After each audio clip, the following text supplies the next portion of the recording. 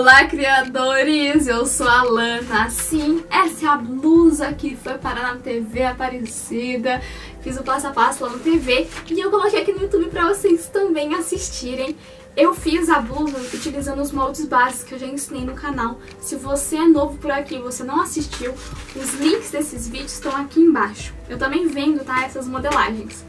E gratidão a todo mundo novo que chegou porque assistiu na TV e veio pelo canal. Eu espero muito que vocês também gostem de fazer parte dessa família e criadores, bora recepcionar as novas pessoas. Sempre deixe um comentário, porque as pessoas também leem os comentários dos vídeos.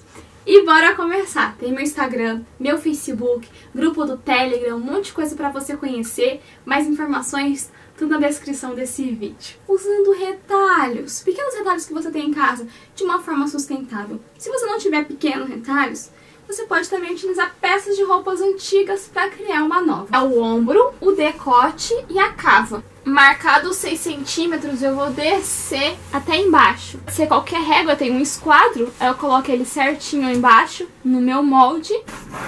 Essa divisão entre a cor preta e a cor amarela que eu usei, né? Meio marronzinha.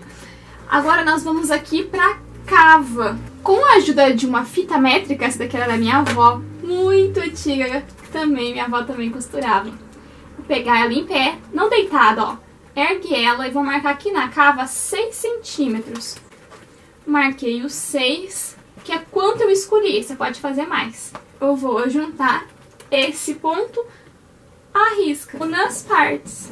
A frente terá três cores, já as costas vai ser o preto e o vinho aqui. Esse é o nosso molde da manga. E aqui você colocou 6 centímetros, aqui também terá 6 centímetros. Então vai ficar dividido. Aqui vai ser uma cor, vai ser um retalho. Aqui vai ser outro retalho de tecido. Se eu quiser fazer mais, eu posso riscar mais. Isso vale para blusa também. A lana tem retalhos menores, então você pode vir aqui, riscar, fazer outras cores. Eu vou deixar dessa maneira porque meu retalho é uma faixa. Agora você corta nessas linhas, separar. Então, as partes separadas, você vai cortar com margem de costura. Então aqui, ó, já estão todos cortados. Coloquei o molde por cima, da direita e a manga esquerda. Unir as duas partes e fechar na sua máquina. Já a parte das costas tá dobrada. Cortei duas. Então você vai costurar essas partes aqui. Tirando aqui da frente. Também, olha, dobrado essa parte também, as partes que vai costurar e a dos ombros, que aí você também vai costurar. A dica do dia pro decote é fazer um revel. Você corta um pedacinho de tecido e aí você vai costurar dessa maneira.